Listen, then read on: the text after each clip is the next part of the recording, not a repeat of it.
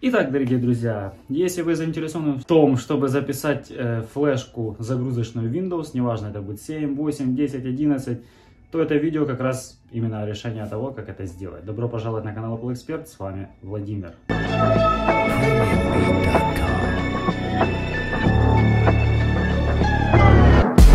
Так, друзья, первое, что нам нужно, это USB флешечка. То есть, если это будет Windows 7, достаточно будет на 4 гига. Если же это Windows 10, нам нужно на 8 гигабайт. Поэтому с флешкой определились, отформатировали, подготовили, Windows скачали. Идем дальше. Нам нужен Power ISO. Здесь мы открываем файл. Я выбираю примерно Windows 10. Открываю его. Он уже здесь у нас есть. Теперь нам нужно записать образ. Переходим в инструменты и вот здесь создать загрузочный USB привод. Нажимаем ОК. Да. Все, у нас сейчас перезагрузится окошко. Вот, нужно немножко подождать. Продолжим. Здесь у нас уже Windows выбран. Все. Показывается USB привод. А, левая тут ничего менять нам не нужно. Автоматически USB и HDD так все и оставляем, как система предлагает. Здесь нам осталось только нажать старт и все. Все данные USB привода будут э, перезаписаны, хотите продолжить. Да.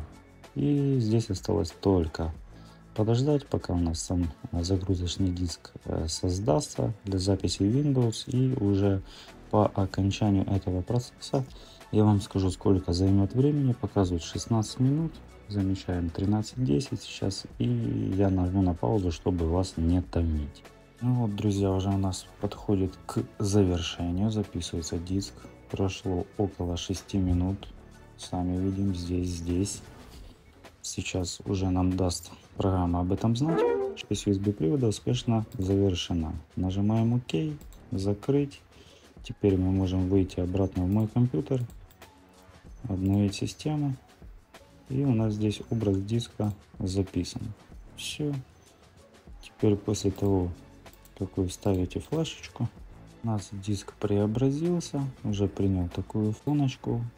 Говорит о том, что у нас Windows готов к записи. Осталось только вставить ее в USB привод и можете устанавливать Windows через BIOS, как положено.